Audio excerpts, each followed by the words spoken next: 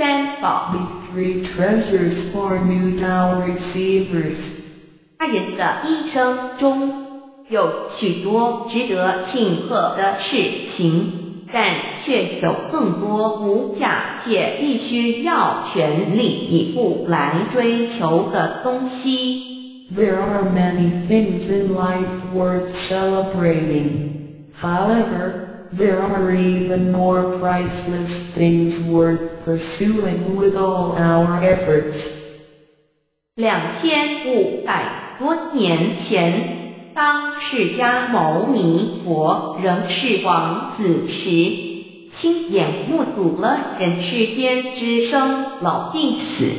他告诉自己，一定要找到一条永恒之路。于是他放弃了王位及荣华富贵，四处去找寻名师。